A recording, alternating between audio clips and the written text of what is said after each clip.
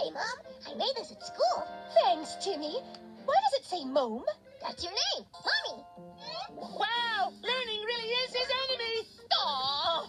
Well, spelling aside, it was a nice thought. And they all lived happily ever after.